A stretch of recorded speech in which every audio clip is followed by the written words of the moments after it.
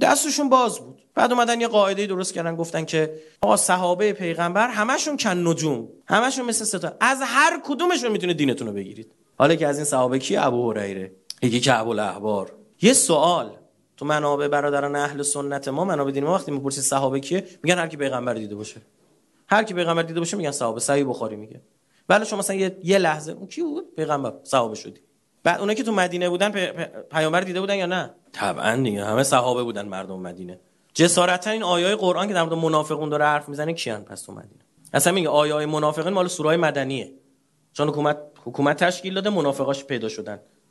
اینا کیان؟ این صحابه منافق پکیان و من حولکم. قرآن آیه قرآنه. میگه همین دورت همین دورت تو. مدینه. اشاره می‌کنه میگه فل مدینه. منافقون. مردو علی نفاق آی اینا منافق بودن. حالا یه چیزیه دیگه بعد همه صحابه هم خوبن. همه صحابه خوبن الا اونایشون که جلوی جناب خلیفه اول ایستادن. بهشون گفتن اصحاب رده.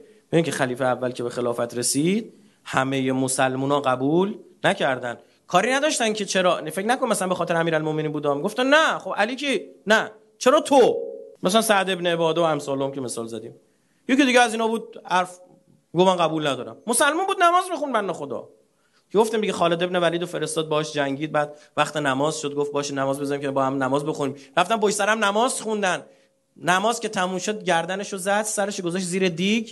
باش غذا درست کرد همون شب با زنش نزدیکی کرد. تو سخنرانی فتوحات غیر اسلامی اینا رو گفتم که آقای خالد ابن ولید کیه؟ میمیرن براش تو صحابه. بین صحابه هم اینا استانداردهای مختلف دارن. همه صحابه هم اسلام نیستن. خالد رو خیلی دوست دارن. چرا؟ خالد همون کسی که دستا رو بست.